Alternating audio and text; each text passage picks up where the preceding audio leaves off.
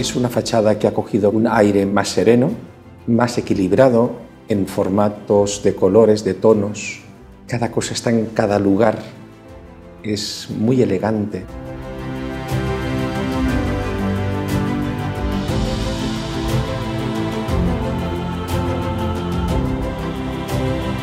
Es una maravilla ver cómo es capaz de combinar teselas de vidrios de tantos colores. En un metro cuadrado podemos encontrar hasta 10 y 12 colores diferentes. La transición de colores continúa siendo apasionante. Pasamos de los malvas, lilas, rosas, violáceos, azules y verdes, pero con una tranquilidad increíble. Yo pienso que ha cogido un protagonismo muy diferente al que tenía igual que los barrotes de las propias máscaras o las cadenas de los elementos de cubierta, ¿no? que también son dorados.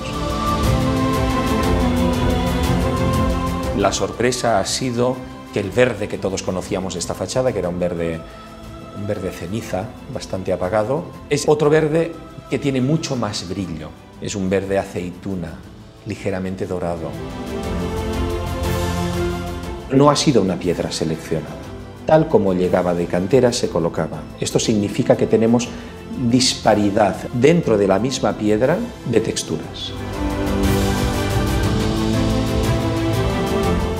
Mirar esta fachada hoy y ver que te está creando todas estas sensaciones y estos pequeños remolinos internos es como volverte a enamorar de esta fachada.